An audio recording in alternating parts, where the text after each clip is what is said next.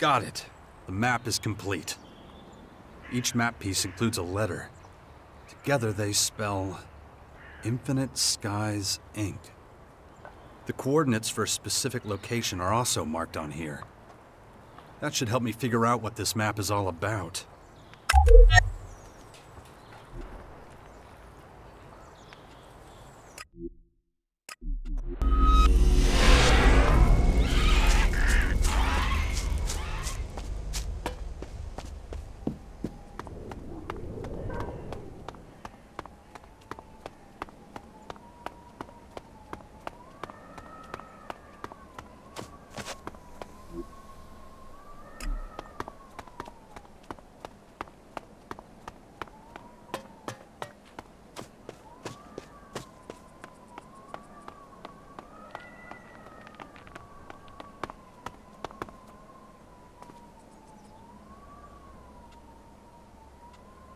The safe should be open now.